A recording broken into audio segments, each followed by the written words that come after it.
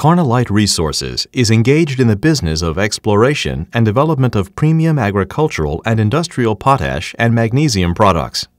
The Wynyard Carnallite project is located just outside Wynyard, Saskatchewan, approximately 175 kilometers east of Saskatoon, and some 65 kilometers east of the PCS Lanigan mine.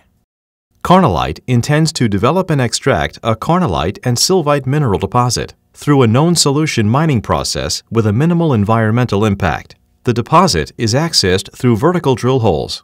These drill holes are used for the injection of unsaturated solution, called the solvent. Surface casing is cemented in place to protect all freshwater aquifers. Karnalyte's additional protection is to cement surface casing to a greater depth than necessary, at 200 meters processed non-potable water will be taken from the Blairmore Formation, which is located at approximately 500 meters. The mineral zones are found below, starting with Patience Lake, Belle Plaine, and Esterhazy formations. The solution mining caverns are developed through these vertical drill holes and allow for the extraction of the processed brine. The solvent remains in the cavern and turns into saturated brine, while the magnesium chloride and potassium chloride concentration in the brine reaches production composition.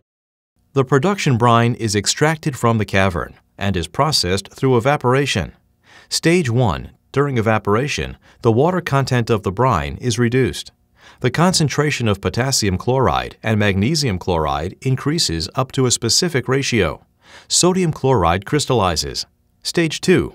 The remaining brine is cooled in a crystallizer. During cooling, potassium chloride crystallizes. As such, the potassium chloride concentration decreases.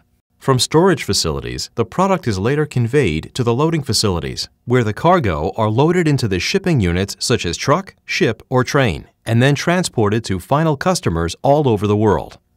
Residual brine remains and must be disposed, which includes insoluble material.